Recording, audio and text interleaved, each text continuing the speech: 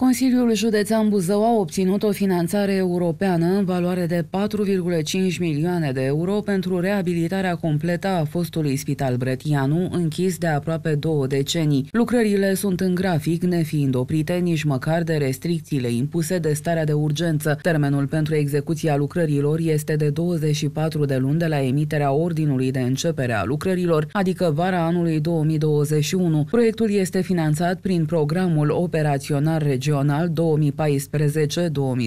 axa prioritară 5, îmbunătățirea mediului urban și conservarea, protecția și valorificarea durabilă a patrimoniului cultural, conservarea, protejarea, promovarea și dezvoltarea patrimoniului natural și cultural. În cadrul Centrului Muzeal de pe Bulevardul Bălcescu vor avea loc și activități culturale, spectacole, lansări de carte sau diferite alte evenimente artistice. Nu doar clădirea fostului Spital Brătianu va fi renovată, ci și zona de jur împrejurul imobilului. Reprezentanții Consiliului Județean spun că în zonă va fi amenajată o grădină publică, o fântână arteziană și băncuțe unde buzoienii se pot relaxa în timpul liber.